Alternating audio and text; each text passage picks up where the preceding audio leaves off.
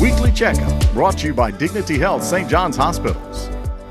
St. John's Regional Medical Center is using an advanced technique to pinpoint the location of breast tumors prior to surgery.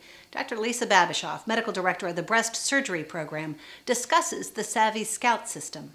We have a patient that needs a lumpectomy and their tumor is not palpable. We need a way to tell me in the operating room where the tumor is so that I can take it out. The SAVI Scout localization technique is a little clip that's put in by the radiologist. The patient comes to surgery and I have a little probe that I use that works by radar that can identify where exactly the tumor is. The SAVI Scout system allows patients to avoid the invasive guide wires traditionally implanted before a lumpectomy. It's more of a non invasive technique for me to know where I'm going at the time of surgery, and it's been a huge benefit for that. To learn more, call the number on your screen or visit dignityhealth.org slash St. John's Regional.